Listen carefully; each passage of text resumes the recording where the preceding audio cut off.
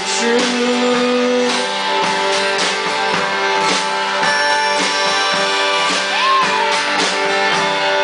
I drove west with a girl.